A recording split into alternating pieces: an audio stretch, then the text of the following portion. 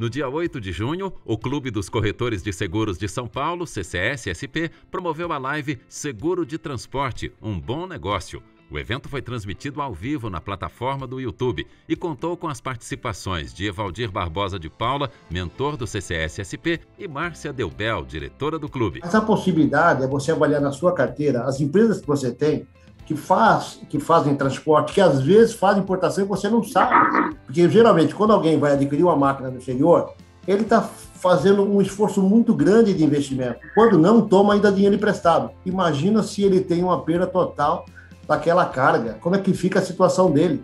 Então, o seguro vai atendê-lo.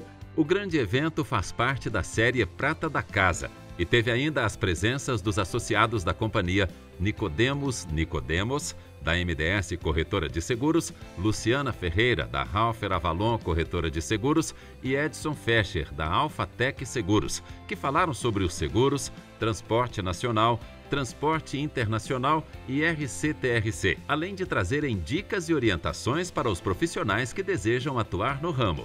O corretor ele precisa ficar de olho na carteira dele, né? Porque nós fazemos o seguro empresarial e muitas vezes o cliente ele tem um potencial para ter um seguro de carga. Então, às vezes a falta de conhecimento do corretor de não ter o conhecimento do RCTRC, que é obrigatório, ou o próprio embarcador, ele está perdendo oportunidade no mercado de um outro corretor, né?